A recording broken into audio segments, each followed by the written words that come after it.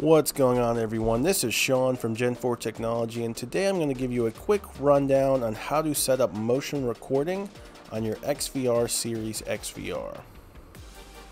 First step in getting this set up, we're going to go to the main menu. So if you're not in front of your unit currently, let's go ahead and get in front of it. Go to the bottom left corner and select the option Setup. Within Setup, this is going to pull up the main menu. And the first option we're going to go to is motion under the channel tab. So let's go ahead and click on motion. This will pull up all of the channels you have added to the device currently. Right now I only have one, but if I had more than one, it would list these off and it would let us, you know, configure this in a quick fashion by just going through and, and adjusting how we want and hitting apply at the end. Um, I'm just going to give you a quick rundown on what each of these settings does and you know how it affects motion detection recording in general. So first and foremost we have setup. Um, this is where we set up the grid box of what we want to be considered an active area um, to pick up motion via the XVR. So by default, all of your channels should have this already gridded red fully, meaning that entire area is picking up motion. If you want to grid off, you can click them singular, singularly one by one, or you can drag and draw just like you're drawing a square, you know, via paint or, you know, some sort of program on your computer. Uh, but for, for this example, we're going to leave everything highlighted in. Again, if you want to ungrid anything out for situations where you have like constant motion such as trees or constant traffic that's where you you're going to draw out and you know cut off certain areas of that field of view. Once you grid off you just right click and make sure you always hit apply when you're done so it saves. Um, switch switch is where you actually turn motion on. Again by default this is on but if it's not on for whatever reason make sure you check in that checkbox to turn it on Sensitivity, this is where you set up how sensitive you want motion to be picked up.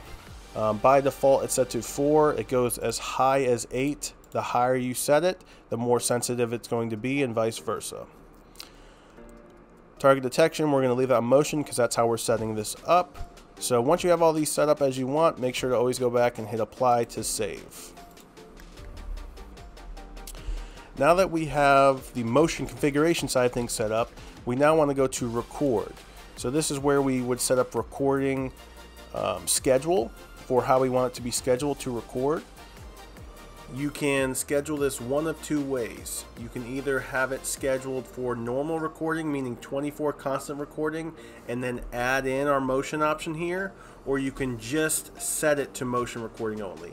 In this case, we're going to set it to motion uh, mode only. So what we're going to do is make sure this normal option's clicked in and we're going to draw a square from the left all the way to the right to clear out all of the normal recording settings. So let me do that one more time. As you see now it's a blank bar or blank slate across the board. We're now going to add motion. So if we click in the motion option here, we're going to drag, same thing, and draw, and it will fill in for the entire day for seven days a week, as you can see top to bottom.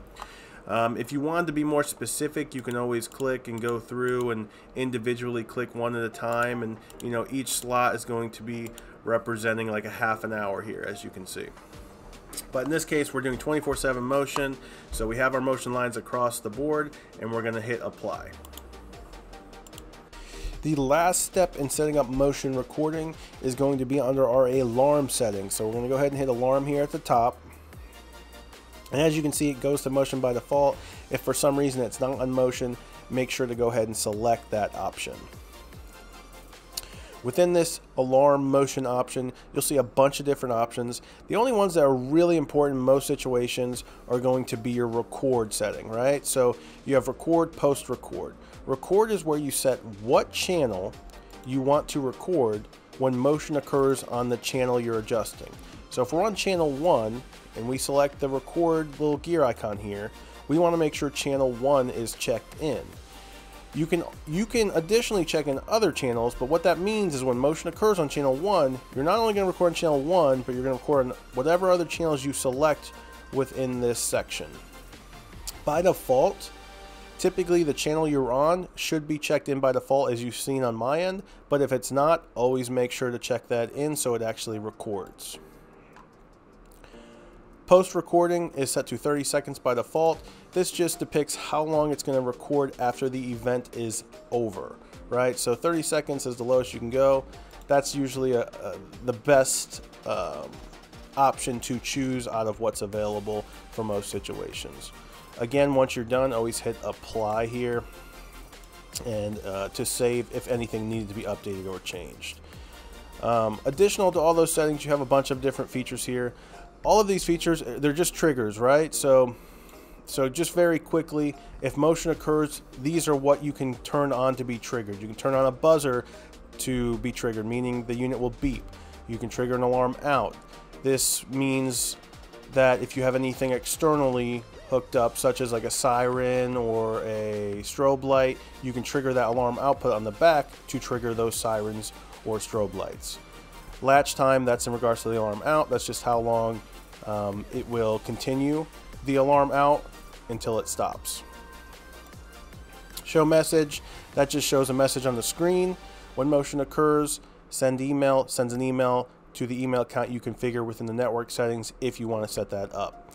FTP picture upload and FTP video upload all correspond to setting up an FTP server. If you set one up and sync it with the XVR, you can upload pictures and videos based off motion to those servers.